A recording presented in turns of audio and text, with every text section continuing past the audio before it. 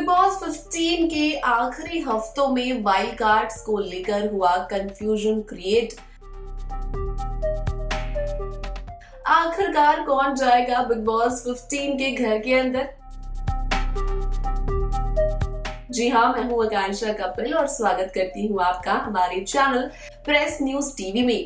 Big Boss 15 को दो हफ्तों के लिए एक्सटेंड कर दिया गया है। और अगर वाइल्ड कार्ड्स की बात करें तो उसको लेकर एक बड़ी अपडेट सामने आ रही है। जी हाँ जैसा कि आपको पता ही है कि बिग बॉस 15 के घर के अंदर वाइल्ड कार्ड्स को लेकर काफ़ी खबरें सामने आ रही थी, जिनमें ऐसा कहा जा रहा था कि विशाल कोटियान और राजीव अदातिया जो है, वो बिग बॉस 15 के घर के अंदर जाने वाले हैं और उनको क्वारंटीन भी कर दिया गया है।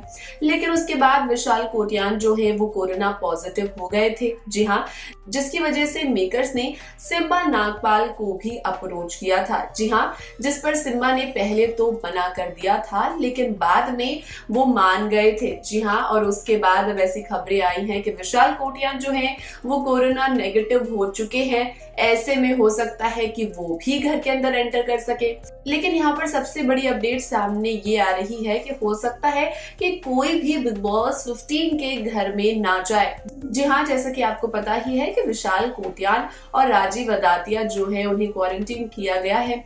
लेकिन अब बस दो ही हफ़्ते बचे हैं ऐसे में, क्या बिग बॉस 15 के घर के अंदर इन वाइल्ड कार्ड्स को लाया जाएगा या नहीं? और अगर नहीं लाया जाएगा तो इन्हें क्वारंटीन क्यों किया गया है? जी हाँ यहाँ पर काफ़ी ज़्यादा कंफ्यूजन जो है, वो क्रिएट हो गया है वाइल्ड कार्ड्स को लेकर। पर आपका क्या कहना है इस खबर पर, बताइएगा ज़रूर हमें कमेंट सेक्शन में।